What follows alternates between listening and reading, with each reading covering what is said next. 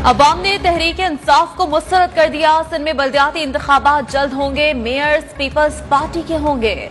सबक सदर आसिफ अली जरदारी का नवाब शाह में पार्टी कारकुनों से खिताब।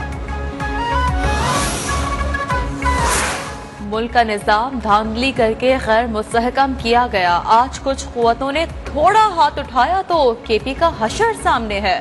मौलाना फजल रहमान का इस्लामाबाद में खिताब, कहा इन पूरे मुल्क में हुकूमत का यही हाल होगा।